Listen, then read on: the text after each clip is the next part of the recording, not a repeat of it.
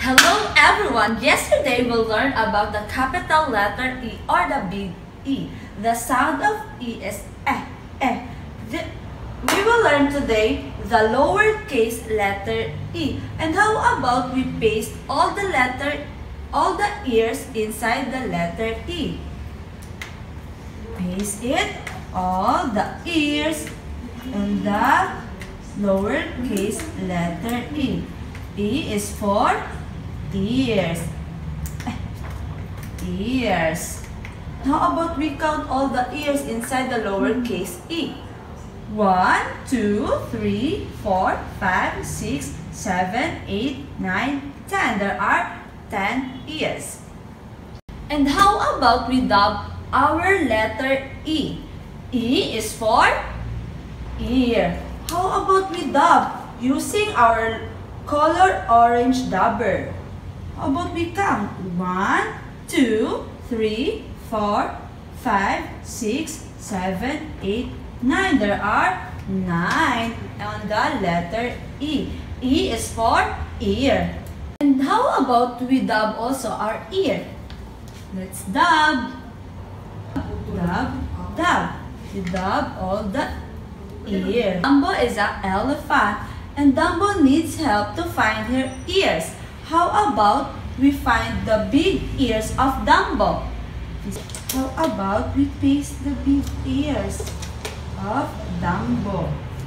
How about the middle size? The middle size ears of Dumbo. This is the middle size of the middle size ears of Dumbo. How about the small ears of Dumbo?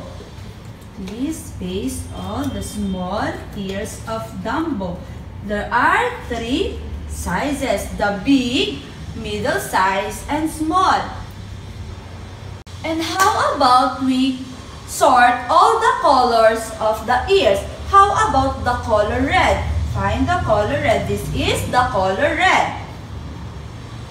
And how about the color blue ear? This is the color blue ear.